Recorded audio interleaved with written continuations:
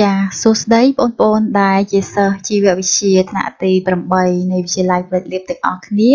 ថ្ងៃនេះវិលមកជួបជាមួយនឹងអ្នកគ្រូដែលយើងនឹងសិក្សានៅជំពូកថ្មីមេរៀនថ្មីចាជំពូកទី2និយាយអំពីបរិស្ថានធម្មជាតិ មេរៀនទី1និយាយអំពីស្ថានប្រព័ន្ធតាមមូលដ្ឋាន ដែលមេរៀននេះបានរៀបរៀងនិងបង្រៀនដោយអ្នកគ្រូសុំណែតនិងអ្នកគ្រូជនសកុនធីរីដែលជាគ្រូជីវវិទ្យាក្នុងកម្មវិធីសាលារៀនចំនួនថ្មីនៃវិទ្យាល័យផ្លេចលៀបចាមុននឹងចូលទៅដល់មេរៀនថ្មីអ្នកគ្រូសូមកាយកិច្ចការផ្ទះ ដែលបានដាក់ឲ្យបងប្អូនកាលពីសប្តាហ៍មុនយើងមាន2សំណួរសំណួរទី1សួរថាតើរុក្ខជាតិមានលក្ខណៈពិសេសអ្វីដែលអាចការពារខ្លួនពីសត្រូវបានចារុក្ខជាតិគឺមានលក្ខណៈពិសេសដែលអាចឲ្យរុក្ខជាតិស្វែងការពារខ្លួនរបស់វាបានការពារខ្លួនដោយខ្លួនឯងពីសត្រូវគឺមានសរីរាង្គពិសេសនិងសារធាតុពិសេសតើសរីរាង្គពិសេសរបស់រុក្ខជាតិមានអ្វីខ្លះចាអញ្ចឹងសរីរាង្គពិសេសរបស់រុក្ខជាតិគឺមានបន្លាមែកបន្លាស្លឹកបន្លាដើមបន្លារោមរោមតិចនិងរោមក្លិនមិនល្អ ចឹងសូមបងប្អូនផ្ទៀងផ្ទាត់ចម្លើយជាមួយនឹងកិច្ចការផ្ទះដែលបងប្អូនបានធ្វើបើសិនជាបងប្អូនធ្វើត្រូវទាំងអស់ហើយវាមិនបាច់កែទេតែបើសិនជាបងប្អូនធ្វើឃើញចម្លើយខុសពីអ្វីដែលបានបង្ហាញសូមធ្វើការកែតម្រូវ រកចម្លើយត្រឹមត្រូវវិញចា៎ឥឡូវយើងចូលទៅដល់ចំណុចថ្មីនៃរៀនថ្មីរបស់យើង ថ្ងៃនេះយើងនឹងសិក្សាអំពីវិយោគដីគោកដែលមាន6ចំណុចដូចបានបង្ហាញនេះចា៎ចាវត្ថុបំណងនៃមេរៀនបន្ទាប់ពីបងប្អូនបានសិក្សាមេរៀននេះហើយបងប្អូនអាចកំណត់និយមន័យនៃវិយោគពន្យល់ពីលក្ខណៈអាកាសធាតុប្រភេទសត្វនិងរុក្ខជាតិដែលមាននៅក្នុងតំបន់ទាំង6នៃវិយោគដីគោករួមទាំងធ្វើការប្រៀបធៀបពីលក្ខណៈផ្សេងៗខុសៗគ្នារបស់តំបន់ទី1ៗនៃវិយោគដីគោកចា៎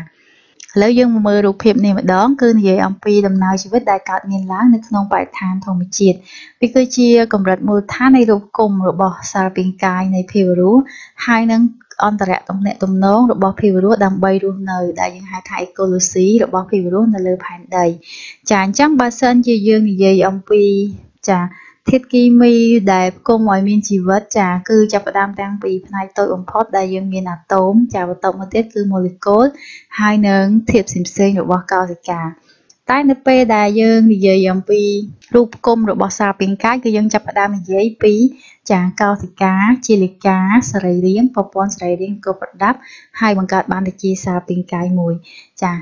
ចាហើយផ្នែកមួយទៀតនៃ ទំនាក់ទំនងរបស់ភាវរស់គឺចាប់ពីភាវរស់មានជីវិតមកភាវរស់អាចរស់នៅបានលុះត្រាតែភាវរស់នោះមានទំនាក់ទំនងនៅក្នុងក្រុមនៃប្រភេទរបស់វា មានទំនាក់ទំនងជាមួយនឹងភាវរស់ក្រុមផ្សេងរួមទាំងកតាអជីវិតដែលរួមផ្សំបង្កលក្ខណៈឲ្យវារស់នៅបាននៅលើផែនដីចាហើយផ្នែកកណ្ដាលនេះគេហៅថា biosphere គឺជាជីវមណ្ឌលមានន័យថាកន្លែងដែលភាវរស់អាចរស់នៅបានអញ្ចឹងអ្វីដែលយើងនឹងសិក្សានៅក្នុងថ្ងៃនេះគឺមានមួយចំណែកនៅក្នុងនេះចាដែលគេនិយាយអំពីចាស្ថានពន្ធនៅក្នុងមូលដ្ឋាននិយមចាគឺកន្លែងនេះតើវិយមគឺជាអ្វីវិយមមានលក្ខណៈយ៉ាងម៉េចខ្លះអញ្ចឹងយើងទៅមើលទាំងអស់គ្នា ចាឥឡូវយើងមកមើលផ្នែកនេះម្ដងចា រូបភាពនេះគឺអ្នកគ្រូយកត្រឹមតែចារូបគុំចាប់ពីប្រភេទមួយឬក៏ឯកតៈមួយរហូតដល់ចាកន្លែងនេះគឺ biosphere គឺជីវមណ្ឌលចាអញ្ចឹងជីវមណ្ឌលគឺសំដៅទៅលើកន្លែងដែលភាវរស់អាចរស់នៅបានចាអញ្ចឹងគឺមានតែភពផែនដីតែប៉ុណ្ណោះដែលភាវរស់អាចរស់នៅបានមានជីវិតនៅលើផែនដីបានចាអញ្ចឹងយើងមកមើលពីខាងក្រោមនេះទៅចានៅពេលដែលភាវៈមួយមានជីវិតនៅលើផែនដីគេហៅថាឯកតៈមួយឬក៏ប្រភេទមួយហ្នឹងចាពីរនៅតែឯងអញ្ចឹងគេហៅថាមួយឯកតៈឬក៏មួយប្រភេទតែនៅពេលដែលគេរាប់បញ្ចូលគ្នាជាមួយនឹងសមាជិករបស់វាក្នុងប្រភេទតែមួយគេហៅវាថា population ឬក៏ប្រជាករដែលបើសិនជាមនុស្សយើងវិញអានេះគឺសំដៅលើមនុស្សម្នាក់ហើយនេះគឺសំដៅលើមនុស្សជាច្រើនដែលមានបងប្អូនពុក ម្ដាយជីដូនជីតាអីទៅមួយក្រុមហ្នឹងគឺជាចាចំនួនប្រជាករឬក៏ចំនួនប្រជាជនហ្នឹងចាដល់ពេលកន្លែងនេះគេហៅថាសហគមន៍ចាសហគមន៍វារៀងទូលំទូលាយជាង population បន្តិចចាដែលនេះគឺជានិយមន័យរបស់វាចាសហគមន៍គឺជា population ទាំងអស់នៃភាវរស់ដែលមានអន្តរទំនាក់ទំនងនិងរស់នៅក្នុងបរិស្ថានមួយជាមួយគ្នាចាអញ្ចឹងមាន population មកពីចាសមាជិករបស់សត្វប្រើសជាច្រើនចាសមាជិករបស់មៀមជាច្រើនសមាជិករបស់ទន្សាយជាច្រើនសមាជិករបស់ខ្លាជាច្រើនវាមករស់នៅក្នុងតំបន់មួយហ្នឹងគេហៅថាសហគមន៍មួយចាបន្ទាប់មកទៀតនេះគឺជាស្ថានប្រព័ន្ធចាវាមានលក្ខណៈជាក់លាក់ជាងសហគមន៍បន្តិចត្រង់ថាស្ថានប្រព័ន្ធគឺវាមានសហគមន៍ជាច្រើនដែលជាប្រភេទសារពាង្គកាយខុសគ្នាវាបរុនៅជាមួយគ្នានៅក្នុងទីតាំងភូមិសាស្ត្រជាក់លាក់មួយដែលទីតាំងភូមិសាស្ត្រជាក់លាក់ហ្នឹងគឺវាមានតំណែងតំណងជាមួយគ្នាទាំងក្នុងក្រុមនិងតំណែងតំណងជាមួយនឹងចាសហគមន៍ផ្សេងផ្សេងទៀត រួមទាំងភាវៈគ្មានជីវិតកតាគ្មានជីវិតនៅតំបន់នោះដែរចាអញ្ចឹងភាវៈរស់នៅក្នុងតំបន់ហ្នឹងគឺវាមានទំនាក់ទំនងគ្នាផ្នែកខ្សែហាផ្នែកបន្ទេធម្មពលចាវាអាចរស់នៅបាននៅក្នុងតំបន់ហ្នឹងមិនចាំបាច់ផ្លាស់ទីទៅកន្លែងផ្សេងទេឧទាហរណ៍ដូចជាព្រៃមួយកន្លែងចាឬក៏តពាំងមួយឬក៏វាលស្មៅមួយចា ចឹងគឺនៅក្នុងតំបន់មួយមួយហ្នឹងគឺមានភាវរស់រស់នៅហើយវាពឹងពាក់គ្នាទៅវិញទៅមកដើម្បីចិញ្ចឹមជីវិតនិងរស់នៅជាមួយគ្នាចាដល់ទៅពេលនិយាយអំពីវិយោងវិញចាវារៀងទូលំទូលាយធំជាងស្ថានប្រព័ន្ធបន្តិចត្រង់ថាវាជាតំបន់ភូមិសាស្ត្រធំទូលាយវាមានអាកាសធាតុចាពិសេសផ្សេងផ្សេងគ្នាទៅតាមតំបន់នីមួយៗរួមទាំងសហគមន៍សត្វនិងប្រភេទរុក្ខជាតិផ្សេងផ្សេងគ្នាផងដែរអញ្ចឹងវាខុសពីស្ថានប្រព័ន្ធត្រង់ថា វាមានតំបន់ភូមិសាស្ត្រមែនប៉ុន្តែតំបន់ភូមិសាស្ត្រនោះវាទូលំទូលាយជាងស្ថានប្រព័ន្ធហើយវាមានអាកាសធាតុពិសេសផ្សេងគ្នាចាមិនដូចស្ថានប្រព័ន្ធទេ នៅក្នុងស្ថានប្រព័ន្ធតំបន់មួយមួយរបស់វា គឺអាចមានអាកាសធាតុរួមចា ប៉ុន្តែប្រភេទសហគមន៍សត្វនិងរុក្ខជាតិអាចខុសគ្នាតិចតួចដែរប៉ុន្តែនៅក្នុងតំបន់មួយមួយរបស់វិយោមវិញគឺវាធំទូលាយអាកាសធាតុគឺមិនដូចគ្នាទេតំបន់មួយមួយហើយនឹងសហគមន៍សត្វនិងប្រភេទរុក្ខជាតិក៏វាខុសគ្នាច្រើនចា៎ ចាអញ្ចឹងបងប្អូនបានស្គាល់ពីនិយមនៃវិយោមហើយចាគឺសំដៅលើទីតាំងតំបន់ភូមិសាស្ត្រធំទូលាយមានអាកាសធាតុពិសេសនិងមានសហគមន៍សត្វនិងរុក្ខជាតិក៏ផ្សេងផ្សេងគ្នាដែរចាអញ្ចឹងបងប្អូនមានដឹងទេថាគេចែកនៅក្នុងជីវមណ្ឌលឬក៏ស្ថានប្រព័ន្ធផែនដីហ្នឹងគេចែកវិយោមជាប្រមាណប្រភេទចាអញ្ចឹងគេចែកវិយោមជាពីរប្រភេទគឺវិយោមដីគោកនិងវិយោមទឹកចា ហើយអ្វីដែលបងប្អូននឹងសិក្សានៅថ្ងៃនេះជាមួយអ្នកគ្រូគឺតកតងទៅនឹងវិយោគដីគោកដែលមាន6តំបន់ដូចបានបង្ហាញនេះចានេះគឺជារូបភាពតើរូបភាពនេះបង្ហាញអំពីអ្វីចា រូបភាពនេះគឺបង្ហាញពីតំបន់ទាំង6របស់វិយោមដីគោកចានេះគឺតំបន់តុនត្រាចានេះគឺតំបន់វាស្មៅនេះគឺជាតំបន់ព្រៃតៃកានេះគឺជាតំបន់ព្រៃឈើស្រុះស្លឹកតំបន់ត្រជាក់បង្គួរនេះគឺជាតំបន់វាលំអខ្សាច់និងនេះគឺជាតំបន់ព្រៃរងទឹកភ្លៀងតំបន់ត្រូពិចចាអញ្ចឹងទិដ្ឋភាពដែលវាមាននៅក្នុងតំបន់មួយមួយហ្នឹងគឺបែបហ្នឹងហើយឥឡូវយើងចូលទៅមើលលក្ខណៈលម្អិតរបស់តំបន់នីមួយៗចា លក្ខណៈរបស់តំបន់តូនត្រាវាមានអាកាសធាតុដែលមានភ្លៀងធ្លាក់តិចតួចចាសីតុណ្ហភាពវាគឺត្រជាក់ខ្លាំងស្ទើរពេញមួយឆ្នាំដែលជាហេតុធ្វើឲ្យតំបន់នោះចាមានដីគ្របដណ្ដប់ដោយទឹកកកមានរដូវរងានោះវែងហើយរដូវដាំដុះនិងរដូវក្តៅគឺមានរយៈពេលខ្លីចាយើងអាចឃើញទស្សនភាពនៅក្នុងរូបភាពនេះដែរចាចំពោះសត្វវិញចាមានសត្វល្អិតចាដូចជាមូសដូចជាសុចអីជាដើម ហើយនឹងមានសត្វស្លាបចាដូចជាកងានដូចជាទាអីហ្នឹងចាហើយនឹងមានសត្វផ្សេងផ្សេងទៀតដូចជាទន្សាយស្លឹកចាក្តាន់កញ្ជ្រោងចចកអីជាដើមចាហើយចំពោះសហគមន៍រុក្ខជាតិវិញគឺវាមានពពួកលីកែនពួកស្លាយព្រៃចានេះយើងឃើញនេះគឺលីកែនចាស្លាយព្រៃនិងចលព្រឹកហើយនឹងរុក្ខជាតិឈើទូទូចាច រព្រឹកគឺសំដៅលើរុក្ខជាតិទូចទូចដែលវាដុះជាកំពូតកំពូតហ្នឹងចាហើយនឹងរុក្ខជាតិឈើទូចទូចហ្នឹងចាទៀបទៀបចាអឺបងប្អូនមានឆ្ងល់ទេហេតុអីបានកន្លែងហ្នឹងអត់មានរុក្ខជាតិធំចាដោយសារអីយើងឃើញថាអឺផ្ទៃដីរបស់វាគ្របដណ្ដប់ទឹកកកស្ទើរតែពេញមួយឆ្នាំហើយអញ្ចឹងទៅរុក្ខជាតិដែលមានវត្តជីវិតអាយុវែងវត្តជីវិតវែងហ្នឹងគឺវាមិនងាយដុះនៅកន្លែងហ្នឹងបានទេ មានតែប្រភេទមួយចំនួនតែប៉ុណ្ណោះដែលវា មានវត្តជីវិតខ្លីវាអាចមានពេលគ្រប់គ្រាន់ក្នុងការបង្កើតផ្កាផ្លែហើយសម្រាប់ទុកគ្រាប់ទៅក្នុងបន្តពូជនៅរដូវដាំដុះពេលក្រោយឬក៏មានតែប្រភេទរុក្ខជាតិមួយចំនួនដែលវាធន់នឹងអាកាសធាតុត្រជាក់ខ្លាំងហើយវាអាចរស់នៅពេលដែលទឹកកកគ្របដណ្ដប់ទៅលើផ្ទៃដីហើយវាអាចរស់ចានៅតែបន្តជីវិតបានហើយនឹងចេញស្លឹកចេញផ្កាផ្លែនៅរដូវចាដាំដុះឬក៏រដូវក្តៅនៅក្នុងរដូវកាលថ្មីចា ចាលក្ខណៈតំបន់វាលស្មៅវិញគឺជាតំបន់ដែលមានដីចាសម្បូរជីជាតិនិងសម្បូរទៅដោយស្មៅចម្រុះហើយកន្លែងនឹងហើយគឺសម្បូរដោយកសិដ្ឋាន ចាមានទាំងកសិដ្ឋានដាំបន្លែកសិដ្ឋានចិញ្ចឹមសត្វចាហើយក៏ជាកន្លែងសម្រាប់ផលិតអាហាររបស់ពិភពលោកដែរអញ្ចឹងមានន័យថាកន្លែងហ្នឹងគឺយើងអាចធ្វើការដាំដំណាំដើម្បីយកស្បៀងហើយយើងអាចធ្វើការចិញ្ចឹមសត្វយកសាច់ឬក៏យកទឹកដោះឬក៏ យកមកធ្វើជាវត្ថុធាតុដើមសម្រាប់ផលិតអាហារឲ្យប្រជាជនយើងនៅក្នុងទូទាំងពិភពលោកដែរគឺយើងប្រមូលបានផលមកពីតំបន់វាស្មៅចាភាគច្រើនចាលក្ខណៈរបស់តំបន់ហ្នឹងគឺក្តៅហួតហែងនៅរដូវក្តៅនិងត្រជាក់ក្រោមសូន្យនៅរដូវរងាហើយចំពោះសត្វវិញចាគេសង្កេតឃើញថាមានសត្វរំពាគឺសត្វដែលចាប់សត្វអតីទៀតស៊ីជាអាហារហ្នឹងចាដូចជាចចកដូចជាស្កាជាដើម ហើយចំពោះរុក្ខស័យគឺសំដៅលើសត្វដែលស៊ីរុក្ខជាតិស៊ីស្មៅជាអាហារហ្នឹងចាមានក្តាមមានប្រើសរមាំងទន្សាយគោព្រៃចានិងសត្វចិញ្ចឹមគោក្របីរួមទាំងឲ្យចាដូចជាជីរ៉ាប់សត្វកវែងហ្នឹងចានិងសេះបង្កង់អីជាដើមហ្នឹងចាហើយចំពោះបាក់សីវិញ គឺមានទីទុយមន់ព្រៃចាប់ភ្នំអីជាដើម ហើយនឹងសត្វល្អិតជាច្រើនទៀតបងប្អូនប្រកាសជាធ្លាប់ឃើញហើយពេលបងប្អូនទៅកាន់វាស្មៅណាចាសម្បូរសត្វល្អិតខ្លាំងណាស់ចាដោយសារទីនោះវាអំណោយផលល្អសម្រាប់សត្វល្អិតរកចំណីចាចាចំពោះរុក្ខជាតិវិញគឺសម្បូរទៅដោយរុក្ខជាតិស្មៅភាគច្រើនចាដោយសារកន្លែងហ្នឹងគឺតំបន់វាស្មៅហើយនឹងរុក្ខជាតិតូចតូចចាដែលដុះជាមួយគ្នានឹងតំបន់វាស្មៅនឹងដូចតែបានឃើញក្នុងរូបភាព ចាតំបន់ទី3គឺតំបន់ព្រៃតៃកាគឺវាមានលក្ខណៈចាអាកាសធាតុវាគឺត្រជាក់វែងស្តៀងនឹងតំបន់តុនត្រាដែរចាអញ្ចឹងនៅលើផ្ទៃដីគឺគ្របដណ្ដប់ទៅដោយទឹកកកក្រាស់ប៉ុន្តែយ៉ាងណាក៏ដោយវាខុសពីតំបន់តុនត្រាត្រង់ថារដូវដាំដុះរបស់វារៀងវែងជាងតំបន់តុនត្រាហើយរដូវក្តៅក៏រៀងក្តៅជាង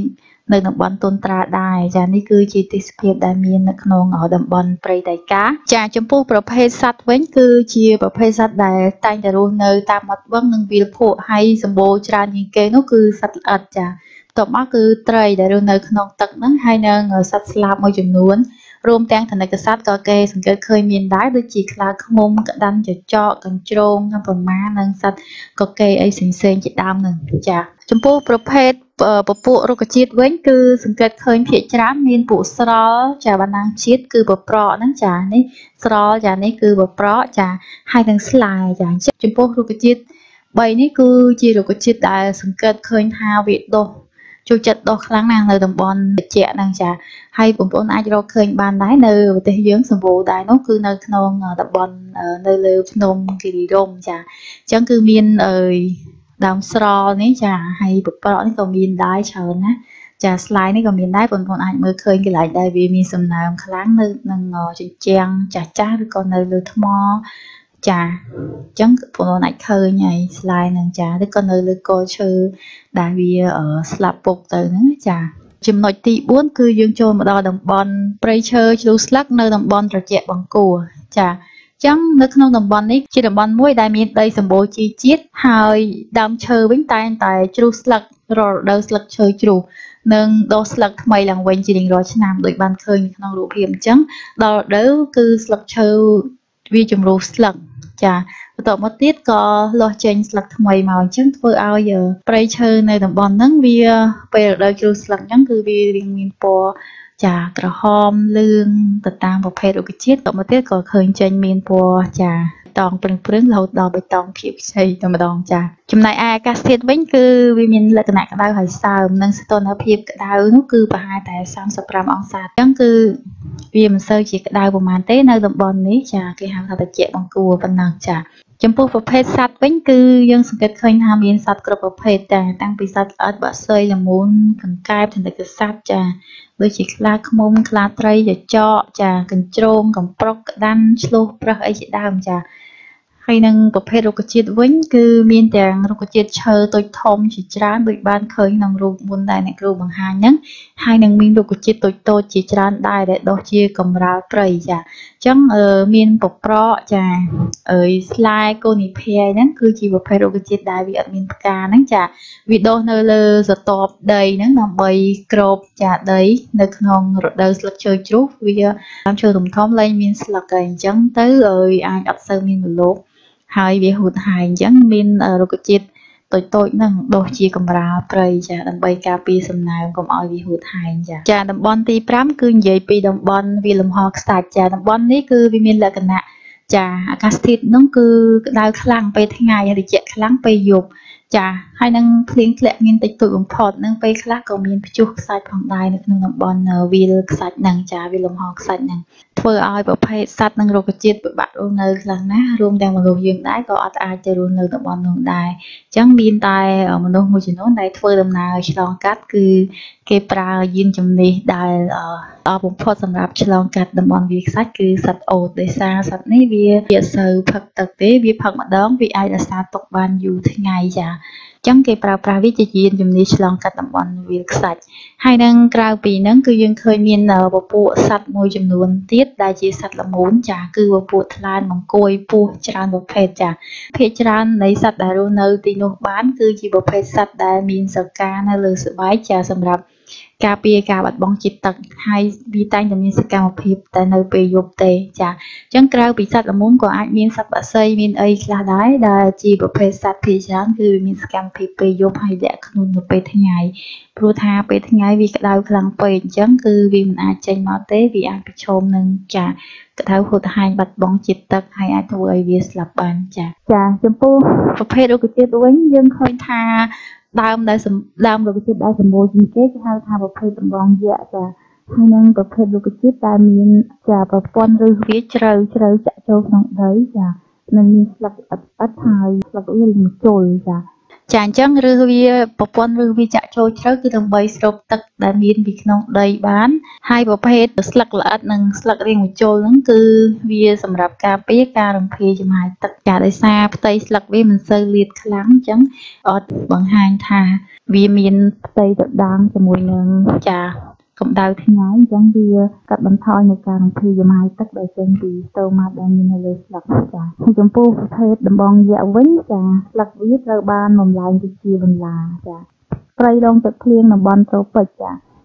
នេះគឺជាតំបន់ចុងក្រោយតំបន់ទី6របស់ចាវិយមដីគោកមានលក្ខណៈចាសម្បូរទៅដោយប្រភេទសារពាង្គកាយច្រើនប្រភេទជាងគេនៅក្នុងនេះ ហើយប្រទេសកម្ពុជាយើងក៏ស្ថិតនៅក្នុងតំបន់ព្រៃដងទឹកភ្លៀងតំបន់ត្រូពិចដែរដែលយើងឃើញថានៅក្នុងប្រទេសយើងមាន សម្បូរទៅដោយចាភីវរស់ចម្រុះទាំងប្រភេទសត្វប្រភេទរុក្ខជាតិឬនិងអាកាសធាតុលក្ខណៈអំណោយផលល្អចាអញ្ចឹងអាកាសធាតុគឺសង្កេតឃើញថាពីរដូវកាលមួយទៅរដូវកាលមួយគឺមិនសូវជាប្រែប្រួលខុសគ្នាខ្លាំងប្រហែលទេហើយយើងទទួលបានពន្លឺពេញមួយឆ្នាំចានឹងមានសភាពចាសើមហើយក្តៅជាប់ចានឹងមានភ្លៀងច្រើនក្នុងមួយឆ្នាំមួយឆ្នាំចំពោះប្រភេទសត្វវិញយើងឃើញថាចម្រុះដូចអ្នកគ្រូបានជាក់មិញហ្នឹងចា មានទាំងសត្វល្អិតមានទាំងចំណិតកសត្វមានទាំងចាសត្វបក្សីសត្វល្មូនស្អីទាំងអស់ហ្នឹងចាចំពោះប្រភេទរុក្ខជាតិក៏ដូចគ្នាចាគឺមានចម្រុះតាំងពីប្រភេទបណ្ណាជាតិផ្លែរុក្ខជាតិវល្លិអគិអេរុក្ខជាតិធំជាច្រើនទៀតគឺសរុបជារួមគឺមានតាំងពីរុក្ខជាតិថ្នាក់ទាបនិងរុក្ខជាតិថ្នាក់ខ្ពស់ផងដែរចាឥឡូវយើងចូលមកកិច្ចការផ្ទះរបស់យើងយើងមានសំណួរពីរដែលត្រូវឆ្លើយទី1ឲ្យនិយមន័យស្ថានប្រព័ន្ធនិងនិយមចាទី2គឺ នៅក្នុងស្ថានភាពលើផែនដីឬក៏ជីវៈមណ្ឌលរបស់ផែនដីគេបានចែកវិយមជាប្រមាណប្រភេទអ្វីខ្លះចាហើយនឹងសំណួរទី3នេះគឺឲ្យបងប្អូនបំពេញចាបន្ថែមនៅព័ត៌មាននៅក្នុងផែនទីចំណុចដែលមានតម្រងបានឲ្យនេះអញ្ចឹងយើងឃើញថាវិយមតំបន់វិយមដីគោករបស់យើងគឺមាន6តំបន់ចាទុនត្រាវាស្មៅព្រៃតៃកាព្រៃឈើឈូស្លឹកនៅតំបន់ត្រជាក់បង្គួរវាលំហខ្សាច់ព្រៃដងទឹកភ្លៀងតំបន់ត្រូពិច ចឹងនៅក្នុងតំបន់មួយមួយអ្នកគ្រូសូមឲ្យបងប្អូនឆ្លងរកព័ត៌មានមកអំពេញដែលនិយាយអំពីអាកាសធាតុចាប្រភេទសត្វនិងប្រភេទរុក្ខជាតិដែលមាននៅក្នុងតំបន់នីមួយៗដូចហើយសម្រាប់ការបង្រៀនរបស់អ្នកគ្រូនៅថ្ងៃនេះបានបញ្ចប់សូមអរគុណសម្រាប់ការយកចិត្តទុកដាក់ទស្សនាហើយនឹងស្វែងសិក្សាតាមរយៈវីដេអូមួយនេះបើសិនជាបងប្អូនមានចម្ងល់ឬក៏មានសំណួរអីបងប្អូនអាចសួរតាមរយៈ comment នៅក្នុង page Facebook របស់សាលា ឬក៏ឆាតមិនគ្រូផ្ទាល់តាម Telegram ឬក៏យើងនឹងជួបវិភាសាគ្នាក្នុងពេលបន្តិចទៀតនេះជាមួយគ្នាតាមរយៈ Zoom ចា៎អញ្ចឹងសូមអរគុណសូមសំណាងល្អ